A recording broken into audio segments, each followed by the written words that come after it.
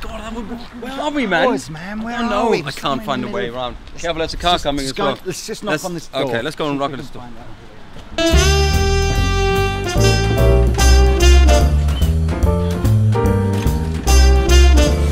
Oh my god! Oh what? It's only Warren Huart from Produce Like a Pro. What? Lee Anderton of Andertons, Andertons, Lee, Lee Anderton. Oh, Man, how are you? I'm good. Marvellous to see you. Come on in. How you doing, man? Good to Come see on, you come on in.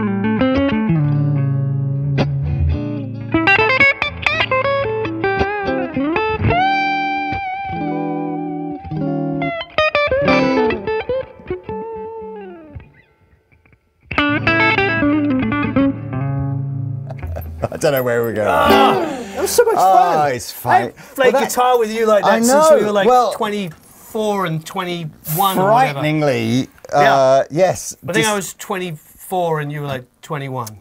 Yeah. So back in the day, Warren and I worked for arch rival music stores. Yes. As you worked for Kingfishers in I did. didn't you? And I I, did. obviously worked at Anderton's. And then I don't. Why was that? Why did you work at Anderton's? Yeah, I don't know. Why did, and then and then you why did you come and work at Anderton's? Did Because I met you.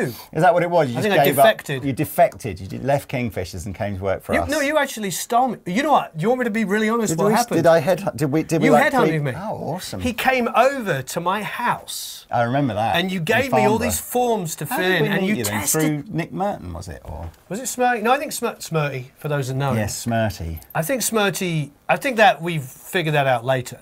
But anyway, and then Warren and I became really good friends. Yeah, yeah. And um, and then you left Anderton's, and quite When- soon after that, you moved out here, didn't Yeah, I you, moved with to a sunny band? Los Angeles with a band. with a band, and then like lost touch as you do, and and then literally just you did a YouTube thing. Obviously, you're you know, and then I started. I saw you, and I'm thinking, wow, and you've got this like killer Produce Like A Pro channel on YouTube, and you just think, and then it literally is frighteningly 25, 30 odd years later. I mean, I'm sitting, five years ago. I'm sitting in your studio, and, uh, 23. jamming. So come on, fill in the fill in the blanks. You, we- But this I- is fun. i look, just pause for a second. You, you play blues like I play blues. well, just slower. No, no, no. That was that was like. do, do you know what I mean? It's like when I play with some people, like a lot of people, it's just like they play blues. Okay. You know what I mean? It's like that all made sense. That Ah. was like that was like coming home. It's very Yeah. kind of you. I No, must no, admit, no, you were one of the fir- you were one of the first guitar players that I ever worked with that I really wanted to play like. You know, what I mean, it's like because you were You're too kind. you've been good for a long time. Well, no, so come on, look. So tell us.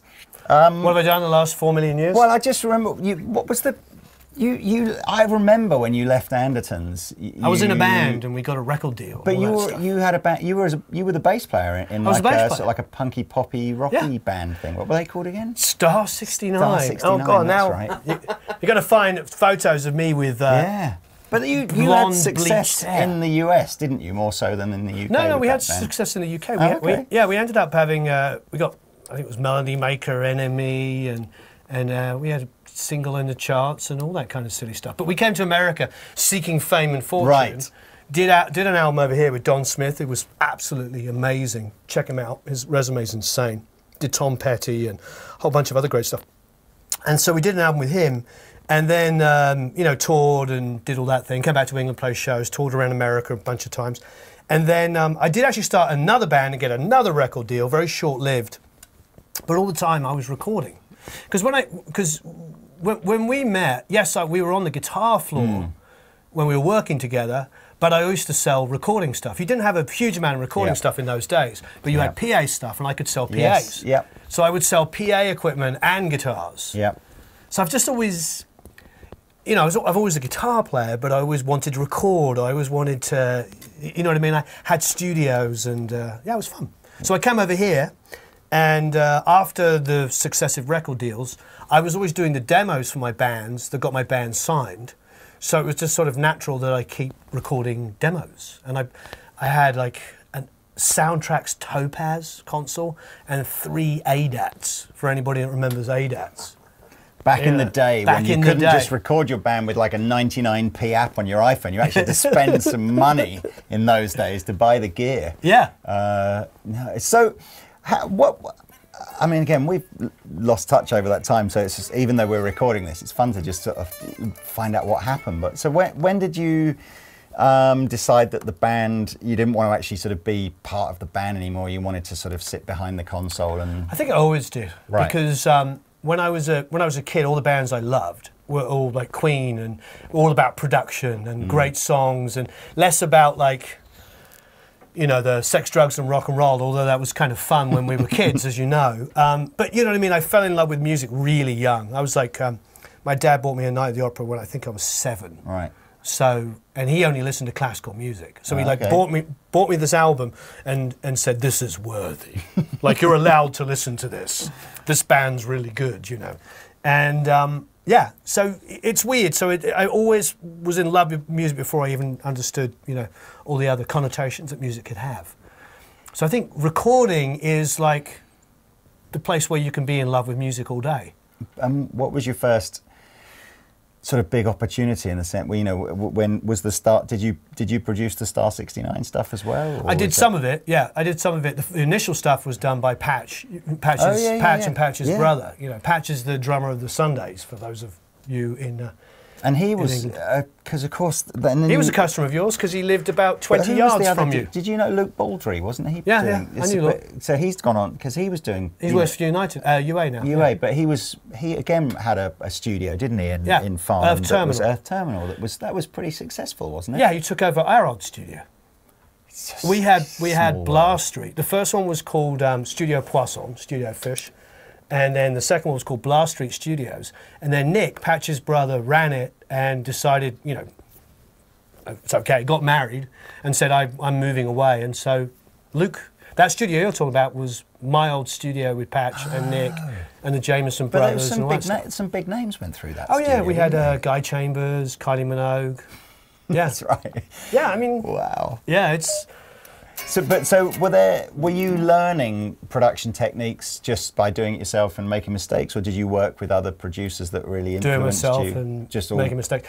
I, I think as a I think as a musician and having a bunch of record deals and, and making albums um, is definitely a baptism of fire. You go in there. Like I, I, even when I was recording, recording, I had like a compressor. You remember the Alesis 3630? Oh, yes. They still make those. They probably do. I hope they? not. Yeah, I hope not too. But uh, you remember you used to put a signal through it and all the low end would just disappear. You like put a bass guitar and it came out sounding. You're like, what happened? um, but anyway, um, you know, I had things, but I didn't really know what they did. And then I remember going into the studio for the first time, a proper studio. And you, prob- you must remember this experience. You put a pair of headphones on, and a guy that, a person that knows what they're doing, like has that compressor set up beautifully, and you kind of go, and you hear that twang, and you're like, you're like, what is that? And I remember just being like, this is magic. This sounds like a record. This sounds like what all the stuff I grew up listening to. So I just fell in love with all of that. And um, yeah, I was just always doing demos. I had, you know, like everybody else, lots of people, I started off with uh, my dad's cassette player, my dad's hi fi. And you play guitar into one cassette player, you put it in the hi fi, play it through the speakers, and then record the overdub live over the top onto the other cassette player. So I'd build up like hissy, you know, I'd figure out, you know, and then go, you know, bit, bit, build up really bad out of time and out of tune harmonies with tons of hiss in them. And that's how I got started. Then I borrowed a Porta One, remember that? Yeah, Tascam Porta One. Whew. That was the last recording product that I actually knew how to use. I think probably still is. Yeah, and then, but then when you know when I was working with the, the, the brothers at uh, Blast Street in Poisson, that was an MSR 24, so that was a one-inch 24 track. And then when I moved over here, I already was used to consoles. We had a, uh, Soundtracs console and an MSR 24, and so I came over here and then got ADATs yeah. because and a little like I said, Soundtracs Topaz, which was actually not a bad little console. It was like grey and pastel colours. We'll talk, we'll talk about the gear because I'm always sort of fascinated how, um, you know, when you go into a pro studio, they're still using the same basic Oh, yeah. analog equipment that's been used for, you know, 30 or 40 years, maybe more. Yeah. Um, but they're usually using a- an element of digital in with it as well. Yep. But um, I'm, st- I'm still kind of because your your sort of production credits have gone like proper insane, and, and obviously Yeah, that's a- great. So so how does you know how does that even happen when you how do you is it just people you met living in LA? Yeah, a little bit of that. I also developed a lot of artists, so I'd get artists signed, I'd get them record deals. You get to be friends of A and R guys. You know, um, the business is quite different in America than it is in England. You know, when we got when we got, we got our band signed, we took our demo, got the band signed, and then they actually put out the demos. And I thought that was what was going to happen in, in America. And they were like, no, we're going to give it to our friends to reproduce. Thanks for helping us out, Sonny. So it was a little bit of a rude awakening. You Right. know, um, it's far more business orientated in Los Angeles and in, and in Oh, I see. America. You mean give them to your fr- give to your friends just so that they get the production credits and you don't? Yeah. Oh, I see. Yeah, and that's that. That has changed quite dramatically because of this wonderful world that we're living in, the internet. You know, it's uh, you know the money's not there like it was. So now it's like, how can we get the best results for the least amount of money?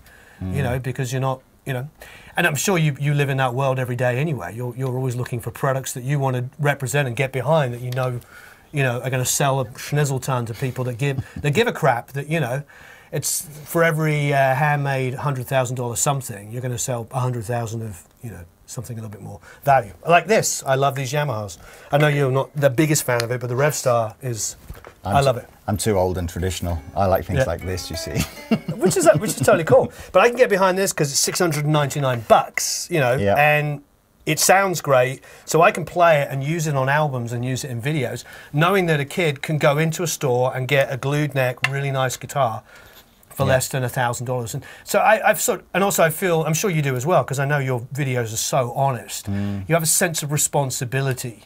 Well, we talk. We talk. Andertons. We're in a really lucky place with Andertons. In, in You're in an insanely good place. We don't. Uh, we don't need people to buy every single thing that we Yeah. video review. And of course, I suppose with a lot of people who are making a living out of reviewing stuff, Yeah. the kind of the, the benchmark of success of that video will be, well, how, how many did we sell as a, as a brand Yeah. that has perhaps paid for that product video?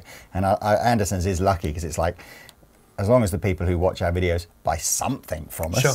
um, it doesn't matter whether they buy the thing we video or something else. They just so I think we're able to just stay true and honest as, as, as much as you as much as you can. But uh, look, this, For me, this, I'm this just- is, I'm- this I is about you, not about No, not no, about but I feel the same way. I'm always looking for things that I know, like this guitar, like certain Mm. like inexpensive plugins or hardware stuff I can really get behind because I know it's really good and, and it helps people. But and isn't everything? It's all an opinion anyway, isn't it? It's definitely You an know, opinion, It's yeah. only it's And even the science is, is kind of irrelevant as well because there's an emotional response to stuff. It's like mm. there's amazing studios all over the world, but if I take you, you know, took you into Studio One in Sunset Sound and told you, oh, by the way, they cut Stairway to Heaven drums over here and they did this or whatever it is, you're just going to be like, wow. And then I say, oh, let's record a song. You're just going to be like, wow. I'm, I'm- you know what I mean? It's there's there's so much more to music than just or anything than zeros and ones and steel and plastic and wood or whatever. That's just a little tiny piece of what makes us do this stupid So- thing that we do.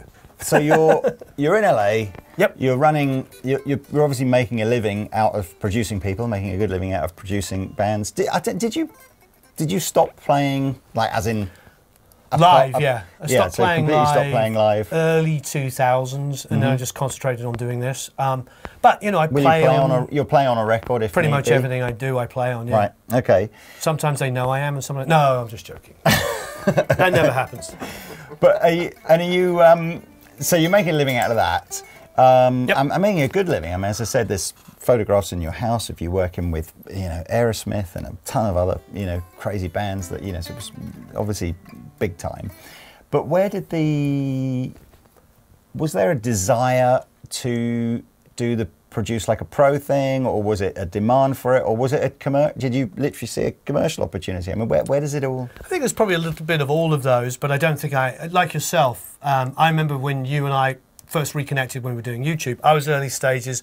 You've been doing it for maybe a couple of years longer than me, but we were both like philosophical about it. Like, yeah, it's kind of a fun thing to do. Yeah, Yeah. you know. And at that stage, I don't think I had even put an ad on a video. Mm. I didn't really. It's like there was definitely a sense of like yourself, they build it and they will come, do quality stuff, be consistent. People will, will trust that you, you, you, you know what you're, you're doing. But for me, I never want to stop making music. So I'm always a little concerned. I never want to be a, pro- considered to be a professional YouTuber. You, you know what I mean? That's, that's the one thing that, because then what happens is like, because what what I hope, and maybe people can disagree with this, but I hope that people know that I do music for a living and I mm. show you what I do while I'm doing music for a living. That's my value. My value mm. is this is what I do for a living. There's not a single thing. Okay, I think Yamaha did actually give me this guitar. they lent it to me and I haven't asked for it back. So it's on permanent You loan. get, you get the email now tomorrow yeah, morning. now I won't you? will. but Can we have that back, please? but you know, I bought the Genelec 20 plus years ago. You know, the console, I definitely sweat and tears. Everything in that rack is paid for. That rack's paid for. I mean, an expensive freaking gear. These are racks have got gear I've had for 25 years. That I've been building up. You know, so I do get occasional things for free or a deal. I'm sure you do as well. I mean, that's life. But the reason why I have the studio is because I've done music my whole life to get to this place, just like you. And it's like we we live, eat, and breathe it. And you know, I know it's easy to say, but you, I love it. Not always, not every day. Sometimes it's a lot of work. But you know that phrase, you know, um, you know, do what you love and make money as a consequence of Yes. it. You know, I think that's you know that, that that's that's the thing for me. One thing I will say about what we do is what I like about um, is I don't mind if I have a million views or ten thousand views on a video because I know the only people that watch my videos care about recording. Mm-hmm. And I think it's probably what's so great about what we do. It's like you know when you see comments and stuff, and you're doing like a you you're jamming guitar. That people are only there to see you play guitar and talk about guitars and amps and pedals. It's freaking awesome. I still think your I mean, side. come on. I mean, it- I, th- I, I admire c- the because the production side I think is um, is a, is a quite a complex skill set. I think you know. I mean, gu- the guitar side, I like what we do on the guitar side because it, for me, our videos were about finding two people that could connect with each other about around music, Yeah. and the gear that's in the video is almost second fiddle Sure. to that connection of what happens when two people make music together and they just and they and there's a bond that occurs. And I, and I think fundamentally actually as a as a as a music store I actually think we're selling that more than we're selling you know we're selling Sure. the joy of making music. And the fact that we sell instruments is almost like well you just you need to have them to, to make the music but you know, you know.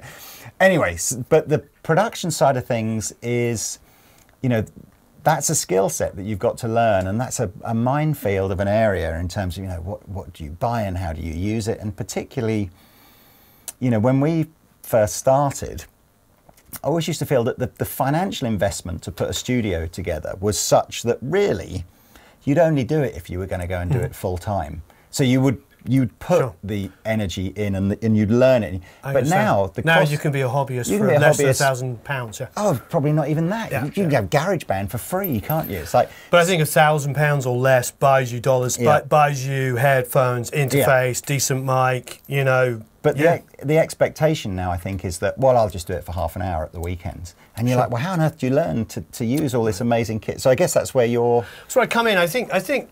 You know, I, and I like what you're saying about the joy of making music. For me, I, and that's really helps me focus on what I, what I wanted to say. For me, a lot of the time, I just want to prove that it's not magic, mm-hmm. and that it's not like this. Woo, you know, because when I was coming up, I don't know about you, but you know, I was coming out and first going into studios. I just thought that there was some kind of gifted, ethereal, kind of sprinkled mm. like dust on everything that was just going to make everything amazing. And uh, after having success and having records that did really, really well, I realized it's just roll up your sleeves and get, get going in there and get creative. And I, I say this all the time. So, if anybody who's watched me on my videos, Geoff Emerick was 19, turning 20 years old when he engineered Revolver. So, this whole idea that you have to be an expert, you know, is just it should be just about like getting in there and just making mm. some music. You know, do you think the Beatles knew what a Phrygian mode was, or a, you know, we know this is not the way that great music we grew up is made. Music is made from just going, oh, what's this? Oh, I like that. What have I got? You know, they're not analyzing the. Mm. So I think I like that because uh, one thing that scares me sometimes, what I love about YouTube is the information, and the thing that sometimes scares me about it is when it gets a little bit too like up its own bottom, and starts becoming like, well, you see, the thing is they were doing, you know, it's like, you know what they were doing? They were plugging in a guitar and making some noise, you know, and uh, so that's the bit I like to. I hope that the the part that we can do is just go. You know what? It's okay. It's okay if you plugged it in and accidentally distorted it, and because All the good sounds. all the good sounds happen that way. Yeah. All the Beatles things Um, were all accidents. So, who would get? Who would cut the better album? Would if I could have all the stuff in this room, Yep. but a sort of a relatively novice level Mm-hmm. understanding of what being a producer is, and all you were allowed was GarageBand and an SM58 for everything. Uh, so unfair. Who, You- who you- would who well- would make the better album? Well, it depends on your level of knowledge. If you didn't have a level of knowledge, you could probably spend half half an hour trying to figure out how to get a signal down one channel. That would be me, 100%. Yeah, that's, I mean that's the reality. Is like, yeah, that's where it can be difficult. uh, But assuming I could at least work out how to record a, a channel, you know, is it? I'm, I'm sort of. I think I know the answer in that with music that I've heard recorded over the, over the years, the skill of the producer is uh, what makes the difference, not the. if the yeah, hit. depending on how you describe a producer, because there's there's a 15 different words, different, more than that. There's a thousand different interpretations of producer. I often get asked, I'm sure you do as well. You know, p- people I'm sure write to you for, for recording advice as well. You have recording videos. well, you know, but to, to Yeah, you guys, to staff, editors.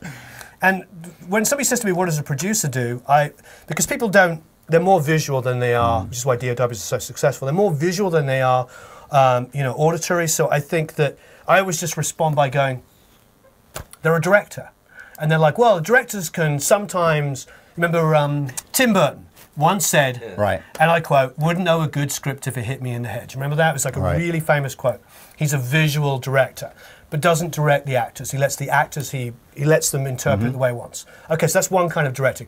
That's like somebody that is really good at like building tracks and soundscapes, but wouldn't know how to get you to sing really well. Mm.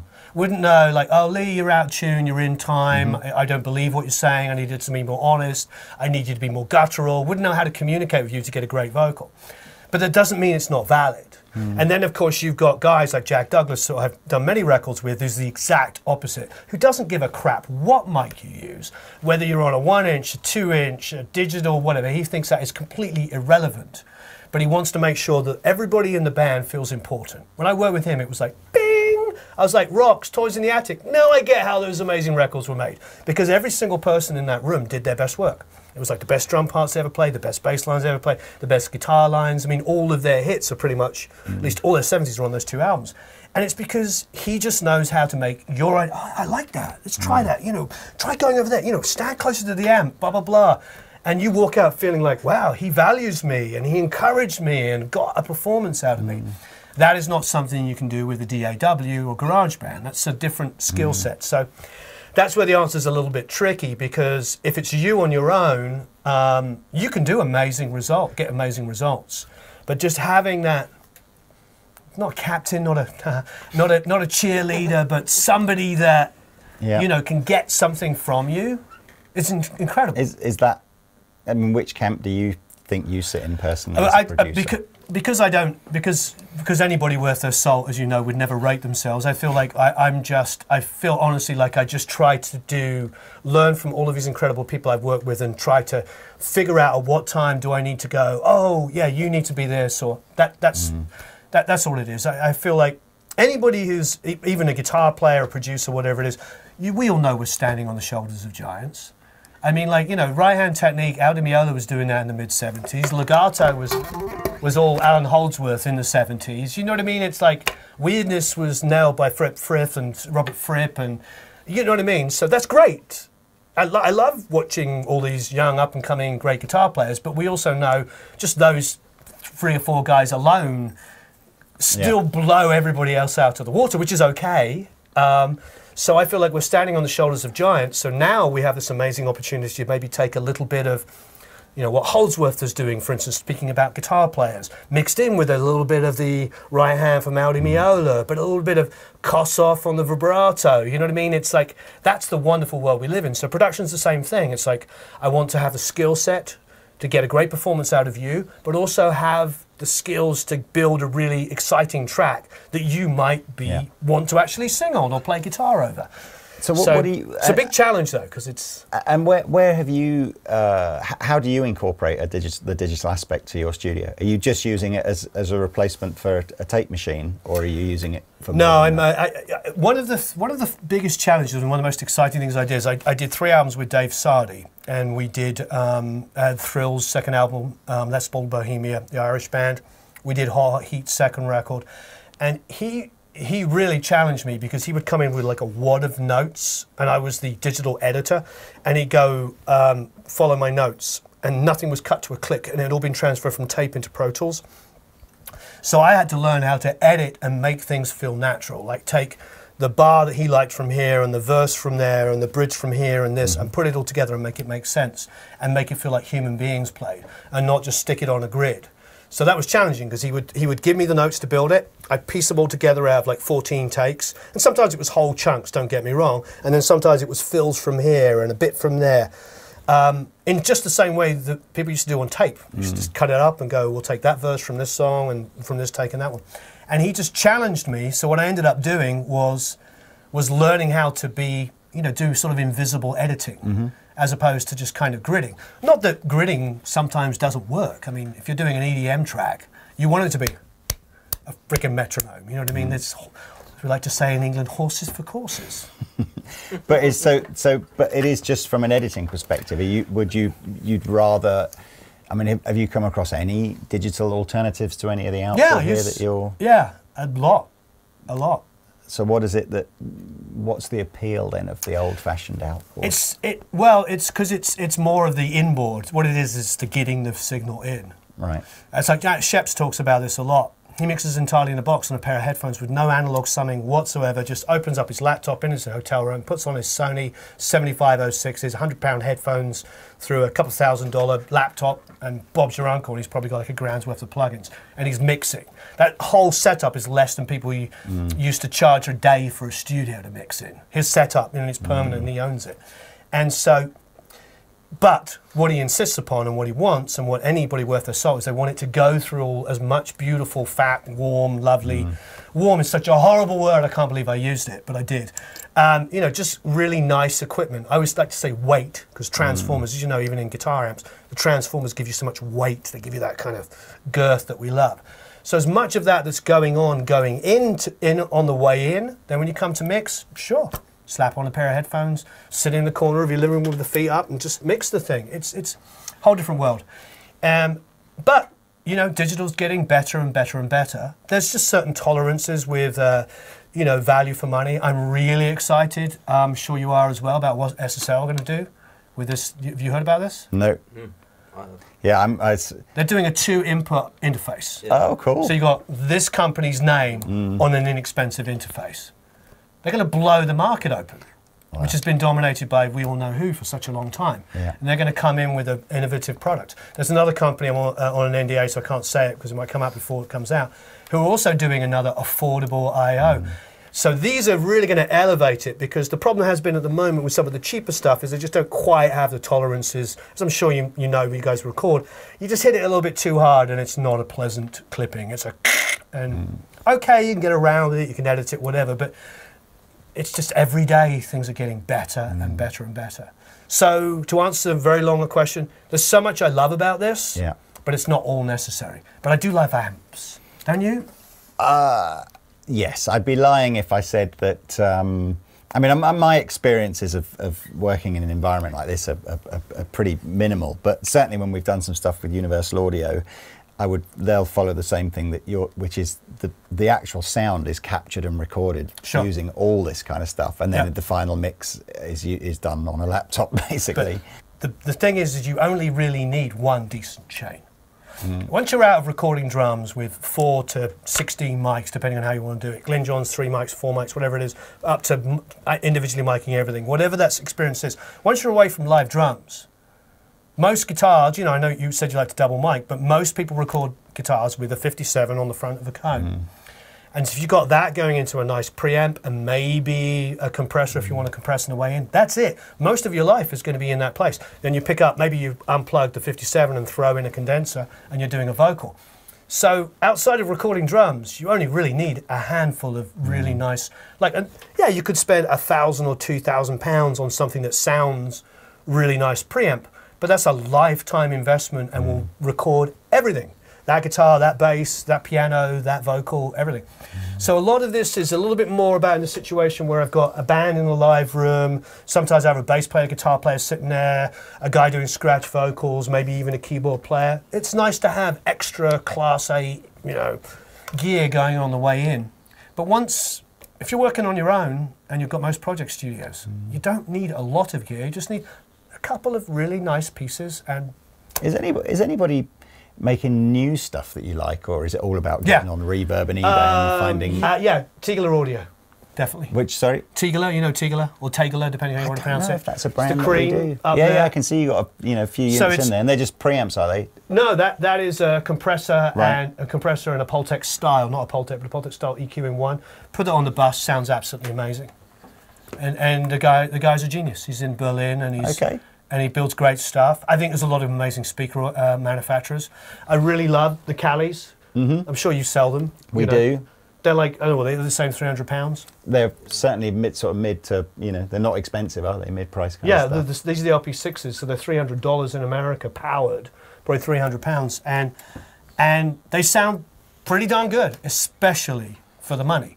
And so there's definitely newer stuff that I get behind. Um, Focal, a company I've, I, mm-hmm. I really like, and of course Genelec have been killing it for decades. Other than the desk, what's the craziest, most expensive bit of outboard that you've got in here? Probably a mic. Oh, really? I have a U47. Okay. Yeah, so that's like a fifteen to twenty thousand dollar just for a microphone. So, yeah. Wow. Yeah. What do you use that for? Just vocals? Vocals, yeah. But I use modern mics as well. It's all just, you know, what you want. I mean, the tape machine, it's, you know, at one stage was probably a hundred grand. It's probably now worth, yeah. It's got a, it's got When an it- Andy when Guitar last- Geek wig. When was the last time you recorded? I was talking to Andy tape? the other day and I put on the wig when he wasn't looking and I came back and I was like, so, uh, when, when was the last time you recorded to tape then? Uh, I recorded to tape relatively recently somewhere else, um, but I haven't used that tape machine in about three or four years. I'll be honest. Yeah, it's been about three or four years since we've done anything on tape. We did. There was a time when that was kind of our thing. People would come to us to track stuff on tape, and maybe put it into Pro Tools for editing and stuff like that. But actually, it's it's just died off because there's there's less of those where to lock out a place for a few weeks to make a record things. And when you're working on tape, you can't just go, you know, bada boom, bada bing, another song, there we go. Yeah, You've got to change reels. You've got to. It, it adds up when you're, you know, I did an album in a day at Sunset Sound Studio Three, in a day, cut the whole thing, and then did vocals the next day, and we were done, mixed. That's great. So going back to the, the, the sort of produce like a pro Yep. thing, is that um, is that aiming at quite a breadth of uh, people wanting to learn about production, or y- you know, right down to someone that's just got like some sort of two in two out affordable interface and a pair of headphones, or Yeah, it's everything. That, that was because you asked me earlier why I started it. Um, I wanted to be sort of in the middle. I remember when I started, um, uh, Graham, you know, Recording Revolution had been going for like four or five years, and then Pensado had been going for like four or five years, and they had these kind of opposite ideas of it, both of which were completely valid. You know, Dave was very like, you know, hey, you're amazing, lots of like really famous people and stuff like that. And then Graham, you know, God bless him, was starting people off. He was like, people were coming in and he was answering the most basic need and getting people mm-hmm. making music. So I saw these two opposite sides and I thought to myself, there's nobody in the middle. There's nobody connecting everybody. And you know, because I was always that little scrappy kid that just sort of wanted to know, I, I, I sort of came in and it was sort of an attitude of like, kick down the doors and make it less expert orientated. And I've always been sort of Yeah. opposed, even though you know I'm learned and I know my scales and blah blah blah and all that stuff. I know the music I love is just kind of guttural and passionate and you know what I mean? Even Bohemian Rhapsody, as complex as it is, they worked out the parts. They didn't theorize the parts. You know what I mm. mean? It was, it was, it's a passionate piece of music. Yeah. You know, it's not a choral symphony. You know, as much as I actually like choral symphonies. Did you realize you were going to get ADD Warren when you interviewed me? No, this is this is this is this is all good. So um, I'm because I, I can't, so how many you, you know if you were if someone's watching this and thinking well I you know I'd like Someone's to- watching this. Thank Yeah. you. Thank you. Thank you from the bottom of my heart if you're watching this. Yeah. how many how many hours do you think you need to put in to just get f- from you know so you've gone out and you've spent your you know thousand bucks on some some relatively you know you've got you've, you already own a laptop you've got a little interface and a couple of mics and a pair of headphones and you're like right ready to go how many hours do you think they need watching you know either watching your channel or reading If it was me, yeah I'd start recording and then figure out what you didn't know, then go and find the videos. Right you literally yeah, would just go straight in the same thing, isn't that, isn't that our thing? I don't know Are you, are you, do you read the manual? Be honest. No, no. There you In go, fact, I, I get deeply offended if uh, if anyone even suggests that I ought to. so Um, I would open it up. I would definitely see the, uh, how you plug it in. Mm. You know, you got you, you take your interface like you know, and we use inexpensive interfaces all day. We, um, you know, you know, Audient and Andy the- and all those say, it's the guys. Audient one, that one, Yeah, we? Yeah. love those guys. You, like, are you coming down to the NAMM show? I am. Yes, I'm So- going to be. I'm doing a full day of panels on Friday, whole day. AES asked me to do to actually set up the day, so I've got four panels in a row. Then I'm going to John Krivit's educational thing because you know, all joking aside, the educational stuff is really super important. it's it's always been something. The NAMM the NAMM education program is it's so good, and yet we're you know there's so much other stuff for us to do at the NAMM show. It's like we, we can't. It's I never get the chance to ever see any of it. Oh, what's he got? He's got a BAFTA or something. It's from NAMM. It's the Tech Award. Oh, well done. So technical excellence in Is that like being the second best YouTube personality of the year? I think. yeah, it's- second best. Yeah. oh, is that what you got? That's what we got this You got year. second best. yeah, it's it's 2019 NAMM Technical Excellence Creativity Awards for Audio Education Technology. So what? Come on, you're a man Education on is the really- inside, clearly more than I am. I just- Uh, I other just- than this SSL thing, what what are you excited about being launched at the NAMM? And this Uh, this won't come out before the NAMM show's on, so any NDA about Um, not Au- mentioning Au- is is Audient you'll have be an okay. affordable one that's coming out that, that they're doing under a different brand. I think they're calling it Evo. You know, More you know affordable than the more Say again? affordable than the little. I think we did a video on. Oh, so you've already done the video. I think they've been down to do. Didn't they come and do a video with us? On that? Yeah, they're doing one with me next week. Yeah. Yeah. they- But more more affordable than the I can't remember what they're, that was they're called. but coming the out little a different valvey name. They're calling it yeah. the Evo. Wow. How much Mr. do? Boss, this- is he not supposed to know this? Is he, is he just so high up the food chain? No. Basically, is he is he on the beach If it, every to day? be honest with you, if sipping, it hasn't got sipping if Mai it hasn't got strings on it, I don't understand, so I just ignore. Uh, what's how much? do you think the What's your SSL dad doing now gonna be? anyway? Is he just completely Yeah, retired out of it? Two fifty. Yeah, Dad hasn't. Uh, Dad, uh, we, this always makes me laugh. Dad 'Cause- is 'cause- such a perfectionist, Yeah. and so finds it so impossible not to come into the store and start critiquing. I was going to say criticizing. It's not criticizing, but critiquing how things are done. So basically, he's just banned. He's just not allowed in. So he's not even set foot in the door for probably ten years. See, what's so interesting? So it was it was the same amount. What's probably happened is you think about it generation wise. When it was 25, 30 years ago, I was working with you at Anderton's. Your dad, you were the kid. Oh, your Oh, for dad, your dad was there running the place. Yep.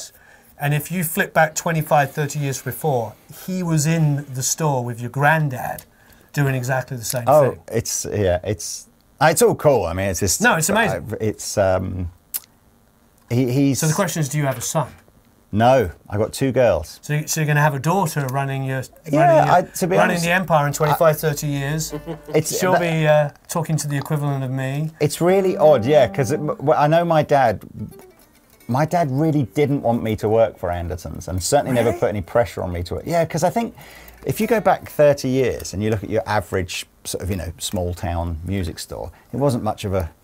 Wasn't You were never a a small town music store. Oh, Anderton's definitely was a small. You know, Well, you no, back into no, the when I- 80s. not- yeah, when we were there, it was a bit bigger. But anyway, so he he, he was he's very proud of what we've achieved, and and um, it's certainly Yeah, but when pretty you know massive now compared to you know what no, it it's, ma- then. it's massive. But you've also you've also done you've also you were the most professional music store back then. Like everything was like clean and organized and well run. Yeah. But it didn't have like the boutiquey feel that you do have now. So what you've done is you've managed to boot. That's that's another thing. I don't, I don't know if you can see that from the outside, but it's- I'm sure it's deliberate or understood or planned. But the reality is, so you still have the professional. Everything's clean, everything works, everything's laid out. He knows where it is. But it also feels like a cool place to go and hang and try out guitars. I hope so. I No, mean, that's all. I ever all I ever wanted it to be was where I'd want to go and buy stuff. yeah, from, exactly. Yeah. You know, so There you go. That's a good answer. Like when you asked me what, what I do, this is what I wanted when I was a kid. See, see, when I was a kid, I didn't, I didn't have any. I had friends like you to play music, but you know, and we there was a lot of us. There was a lot of us back in those days. I do. Uh, I, they were really good times. They're amazing. Really good times. And, Uh, and I always, I always say this. I don't know if I've ever said it on camera, but there's something in the water in our area.